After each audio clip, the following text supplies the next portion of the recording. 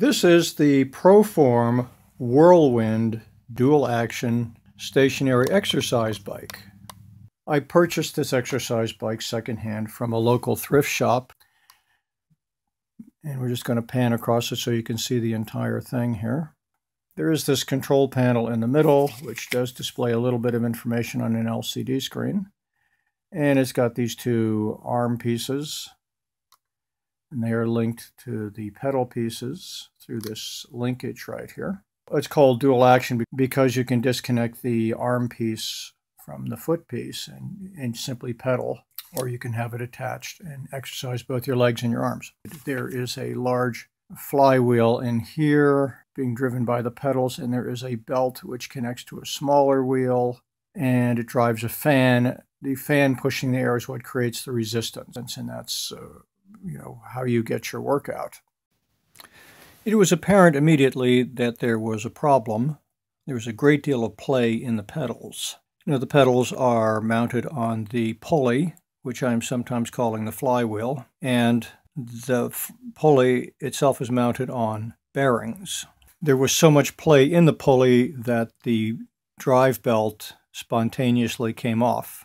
Now, why would the belt come off? Well, as you can see, there's an enormous amount of play here in the pedal, indicating that there's probably a bad bearing inside of there. So we're going to have to disassemble this thing in order to replace that bearing. And I know nothing about these, so I immediately started searching YouTube, hoping to find a video where somebody would explain how to disassemble this thing and repair it, but there was none. I decided to figure out how to repair it myself and make my own video for the next guy who comes along and, and has a problem with this device. There is a user's manual available for this device, and I will include a link to that in the description. I could not find any sort of a service manual, however. The user manual does include an exploded diagram and a parts list, which is helpful. Now this video should also be useful if you have to replace the drive belt. Drive belts do break occasionally and need to be replaced, but if you are replacing the drive belt, you'll only have to remove the cover on the left side. If you're going to disassemble this thing, I think the best place to start is this innocuous little piece right here. This is called the lock rod purpose of this, it gives you a resting place for this connecting piece right here. If you do disconnect this piece, you then take this little hook here and you place it here just to get it out of the way. This piece will prevent this entire side cover from coming off. This is a surprisingly difficult piece to get off. And this rubber cap is held in place with a push nut. And if you know anything about push nuts, they're very difficult to get off. It's basically a flat piece of metal with spines that bend backward as you push it on. So when you try to push it off, it's almost like a fish hook. They're very hard to get off. I think this is probably the best place to start. The next thing I would remove are these fan covers, these screens here that protect you from getting your fingers into those blades. Then I would remove these crank handles, these cranks right here, and you're going to need a crank removal tool to get this off.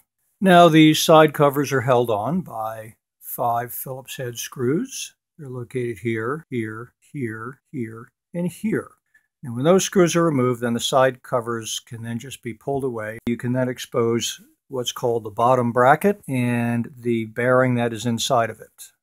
Now we're going to start with the lock rod and these rubber caps and push nuts. There's a rubber cap and push nut on each side of the exercise bike.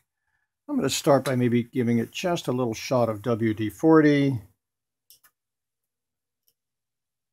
It's never easy getting these darn things off. I'm going to try with my uh, locking pliers here a little bit. Maybe I can loosen it up a little.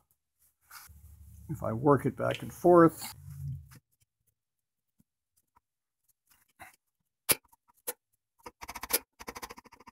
Aha, we got it out. And there is, you can see that push nut. It's a little rusty. You can see that push nut on the inside. Okay, and we just repeat the process on the other side. Okay, I've gone ahead and just taken the push nut off of the other side as well. Next, we're going to remove this fan guard. And there are these little rubber clips here. One, two, there's another one down here, and there's another one up back there. So there's four of them. The only way I know to get these off is to get, just pry them off with something. Get a screwdriver underneath and you only have to raise one side. Okay, there's one. You just repeat that three more times. I've gone ahead and popped all four of them open. That one's open, that one's open. And this one here, and there's another one under here. They're all been opened up. Now there's an axis that runs through here, and there's a screw-on fastener on each side.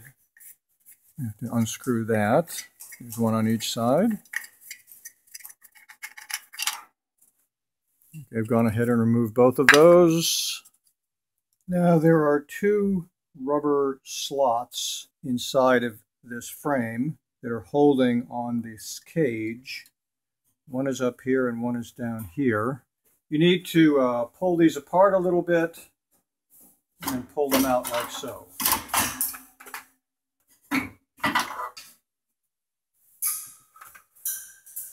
And we expose our blades. You can see what that slot looks like. There, there's the lower one, and there's the upper one. So when you put this back in, both of those guards will have to slip inside of those slots. Now we'll work on getting these crank handles off. Again, there's one on each side. There is a plastic cap on this crank handle, which is covering a 13 millimeter bolt. You can see there's two tiny little holes in it, and there is a special tool which is designed for this. You, you made up that tool, those holes, and then you wind that little cap off. It is threaded. However, it's also just soft plastic you know, you can kind of just get your thumbnail under it and just pull it off like that. So you don't really need that special tool. And that exposes our 13 millimeter bolt. We're just going to go ahead and use our ratchet and get off that bolt.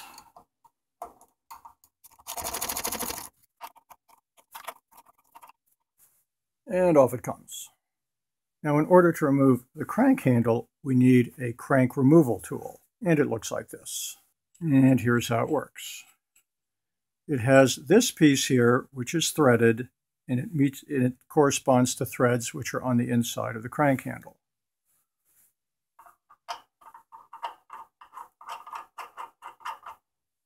This inner piece goes into the outer piece, and it will bottom out in there. This is now making contact with the inner piece of metal. Now I use this 16 millimeter wrench and I drive that thing in and it's going to it's going to pull the crank off the shaft. Now this thing can be on there really tight and you might have to really crank down on this thing hard to get that thing to break loose. Now I already did it once before making this video so it's sort of broken loose already so, so it's going to come off a lot easier this time. But this is this is how it works. You just drive this thing in and it will pop the crank off. Like so. We'll remove it. Okay. Now that we've removed the crank handle from the left side, we'll now remove it from the right side. First, we remove the plastic cap. And then we remove the 13 millimeter bolt.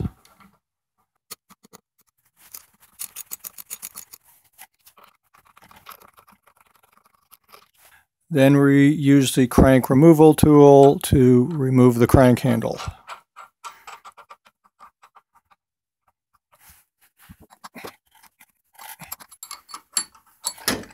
And finally, we remove the tool from the crank handle. Now the crank handles have been removed from both the right and left side. Now this plastic cover is held on by five screws that are all around. We're going to go ahead and remove the first one right here with a Phillips head screwdriver. Now they may be in there really tight and they haven't been turned in years, so you might have a hard time getting them started. You don't want to mess these screws up. You don't want to strip them because it's going to be very hard to get them out if you do. So we'll go ahead and take one out.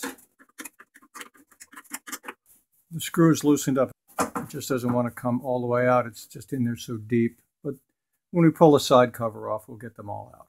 We're going to go ahead and take off all the rest of the screws. With all the screws removed, we're going to go ahead and remove the side cover.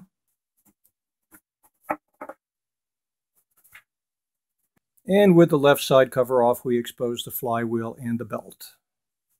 All the screws have been removed from the right side and we'll now remove the right side side cover. And we expose the main bearing. Before removing the bearings, the belt will have to come off the flywheel. So if the belt hasn't already been removed, now is the time to do it. You can just simply walk it off Move the belt to one side and then turn the wheel and it'll come off on its own. This axle and the bearings are held in place with a couple of locked nuts. These nuts are one and a quarter inch.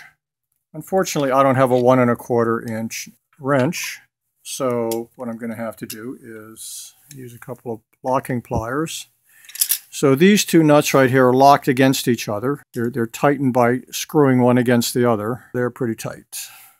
The most important thing to know about these nuts is that they are reverse threaded. So in order to take these off, you have to turn them clockwise. I'm going to use one arc plier to grab the inner nut and see if I can't loosen the outer nut. Again, turning it clockwise. Okay, we've got the outer locking nut loosened up.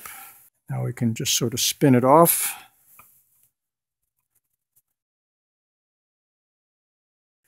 I'll just hold on to it with the arc pliers and spin the flywheel.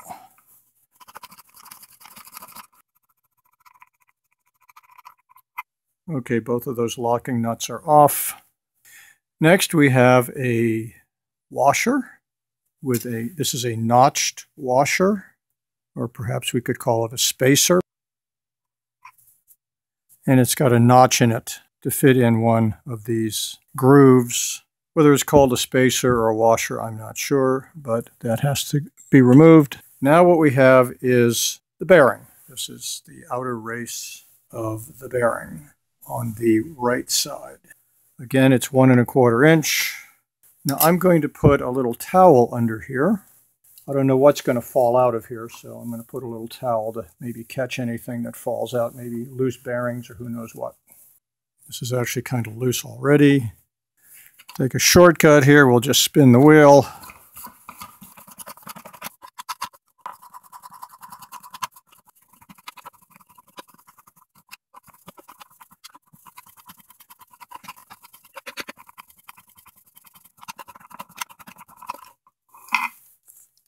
Finally, that came out. The bearing housing appears to be completely destroyed. These bearings are supposed to be caged, and the cage is all fractured, and individual bearings are falling out everywhere. We can now pull out the flywheel. We have more loose and bro broken bearings. Okay, here's the bearing from the other side. Bearings are falling out of the race. Now here's that axle when it's fully pulled out, all encased in grease as it should be.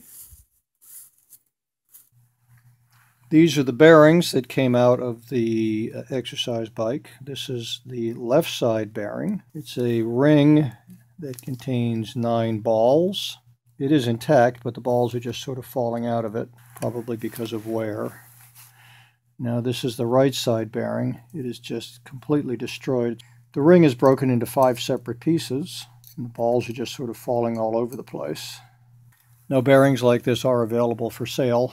Now this bearing ring is 44 millimeters in outer diameter and 32 millimeters in inner diameter. And there are nine balls inside of the bearing race, and those balls are 5 sixteenths of an inch in diameter.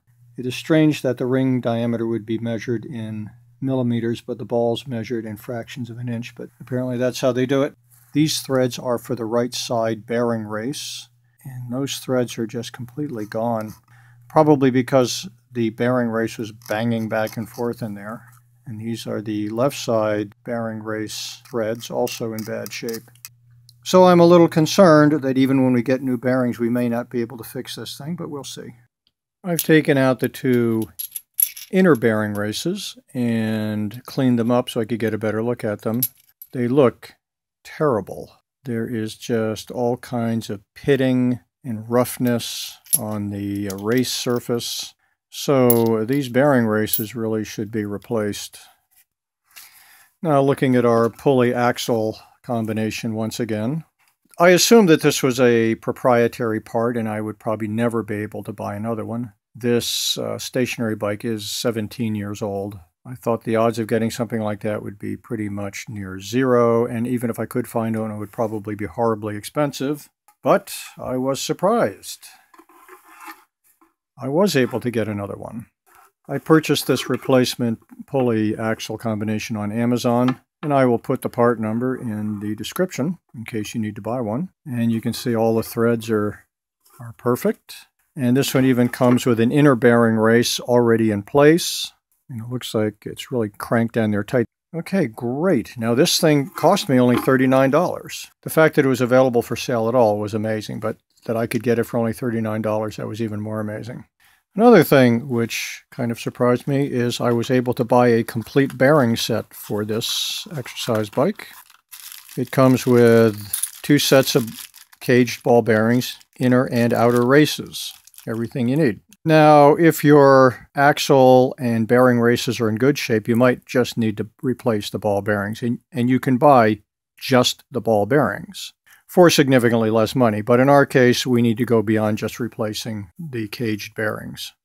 Getting the old outer bearing races out can be difficult. They're in there pretty tight. I'm going to see if I can't drive them out. The worst case scenario is I simply have to reuse them, and that's probably okay. They don't look like they're in bad shape, but I would like to replace them if possible.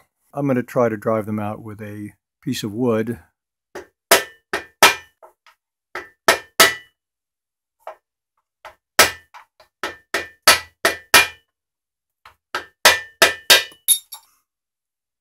Okay, there's the right side outer bearing race. That came out pretty easily. Now I'm going to drive out the left side bearing race. Now this is kind of a longer pole than I wanted. With wood, you're not going to scratch the, the metal on the inside.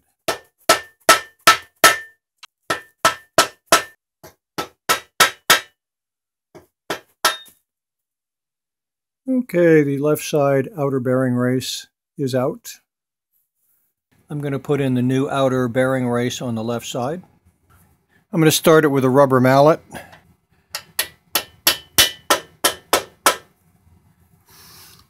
And then a piece of wood the rest of the way.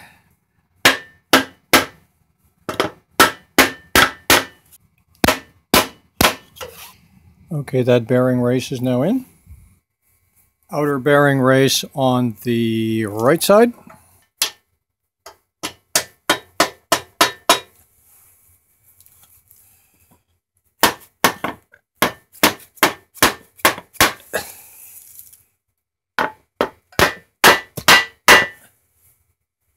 Right side outer bearing race is in place. Now with the new outer bearing races in place, we're going to go ahead and start greasing up those bearing races, getting ready for the bearings. We've already greased the other side. And got some grease on these bearings. We'll put on a little more maybe. Get that grease inside of that bearing cage. Pulley axle, we already have some grease on the inner bearing race. Now we put on the bearing. Now it's important to get this thing on right. It's easy to put this thing in upside down if you're not careful. Okay, the ball side, that flat metal side, that flat metal side goes in first, and it goes over the inner bearing race, like so, exposing the balls to the outer bearing race. I'm going to put this axle pulley in through the left side bearing, like so. Now we're going to put the bearings on the right side. We're going to add a little more bearing grease. Get all that bearing grease up inside those cages. That's where you really need it. Okay, now we're going to put this bearing on, and it goes in with the balls facing the outer bearing race. Like so. Now a word about the right side inner bearing race. This is the original and it had a hex nut kind of built into it. And this is the new one. The new one doesn't have that hex nut. It just kind of has these two little, little slots on it. Okay, so we we will now put on the right side inner bearing race. Now, two things to remember. First, it is left-hand threaded, so you're going to turn it counterclockwise to put it on. And secondly, it's very easy to cross-thread this thing. One of the reasons it cross-threads so easily is because it's got this slot on the axle. It should go on very easily. If it binds up at all or it sort of wobbles back and forth as you're putting it on, you're cross-threaded. I know this because it happened to me the first time I tried to put this on. I did, in fact, cross-thread it.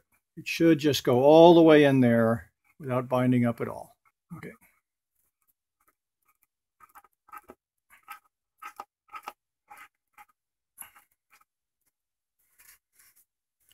Okay, the inner bearing race is in.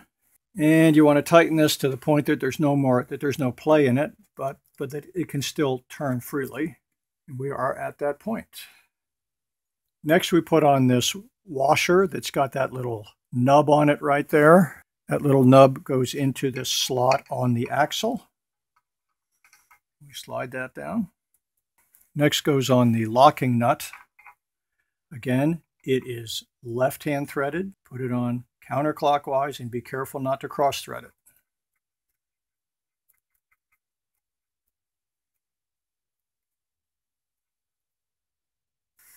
I'm going to tighten up that lock nut with these arc pliers or channel locks, whatever you want to call them. By the way, this nut is one and a quarter inch. If you happen to have a one and a quarter inch wrench available, that would certainly be easier. Okay, I don't think that's going anywhere. Okay, that should be locked into place.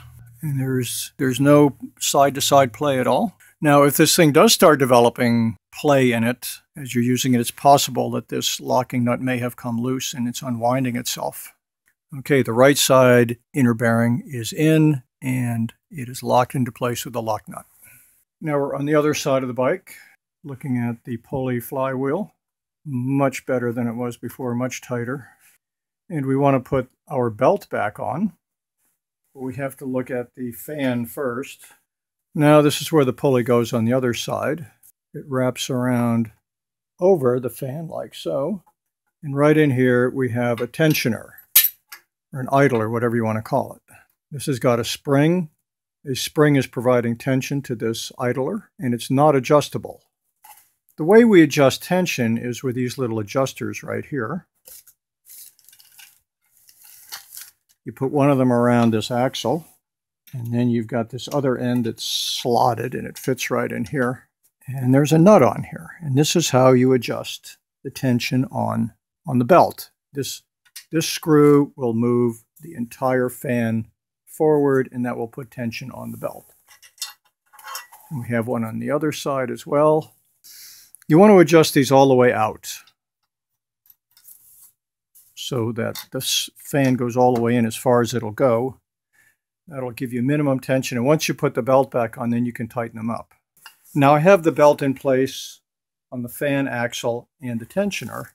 Now I just take this belt and I put it on the uh, pulley and then you can just walk it on. You just sort of let it walk itself on. Now we're back on.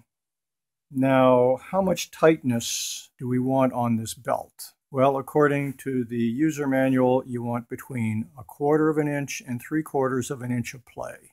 Now here we are back at the fan side. And here's our belt now in place. It runs around the uh, axle and then up over this tensioner and then back to the pulley flywheel. And this is how we adjust the tension with these nuts right here. Just one other thing to note if you are working on the bike because you need to replace the belt, you will need to pull the fan wheel all the way out, get this axle out of here, and then you can slide the belt in. Since we don't need to actually replace the belt, we can leave this front axle in place. We just need to adjust it back and forth to get the right tension. We're going to take a ruler and we're just going to measure how much play we have. So we're going to tighten these nuts on both sides with our 10 millimeter wrench.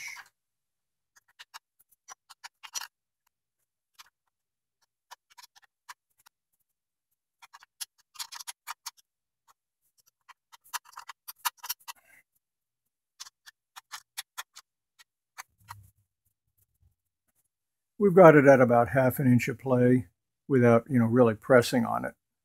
I'm guessing about half an inch it's probably tight enough. I think that's good. I think we'll go with that. Now that the belt has been reconnected, we can now put on the side covers.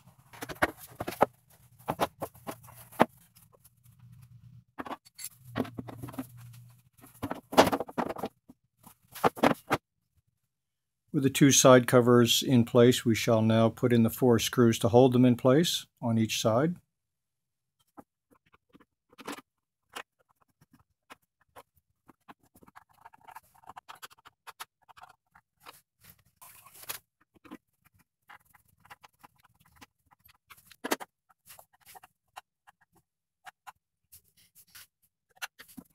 The four screws are in on the left side and now we'll put them on the right side. With the side covers fastened down, we will now connect the crank handles starting on the left side. I'm using a rubber mallet to get it started. And then we will follow it with the 13 millimeters bolt.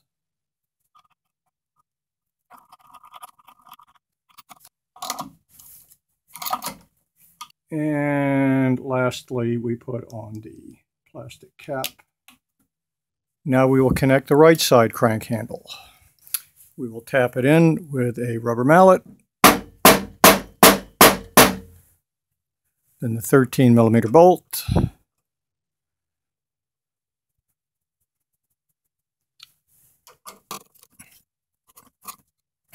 And now the plastic cap. Next we put on the fan guard.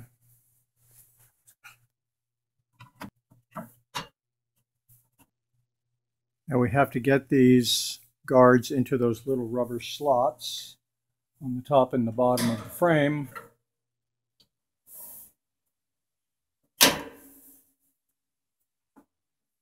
The right and left frame guards are connected with these little rubber connectors here.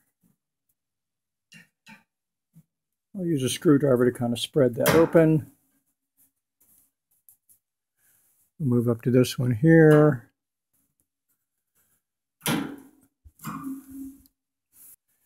And there's two more, then we'll just do the same thing to those. Next we have the caps on the fan guards, one on each side. Just screw them on.